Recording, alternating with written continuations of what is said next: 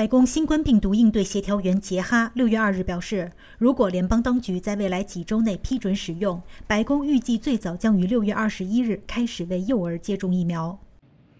Now, the good news is we have plenty of supply of both Pfizer and Moderna vaccines to start our vaccination program. And we are going to make 10 million doses available to states, pharmacies, and community health centers and federal entities to order initially. Starting tomorrow, um, states can begin to place their orders. We have asked states to distribute the initial tranche of doses to their highest priority sites, including those serving the highest risk children and hardest to reach areas.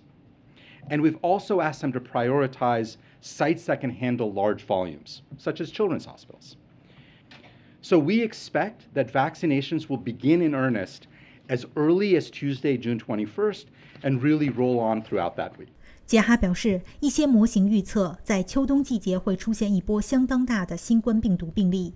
他表示，如果没有国会的额外资金，这个国家将在今年秋天用尽疫苗测试和治疗方法。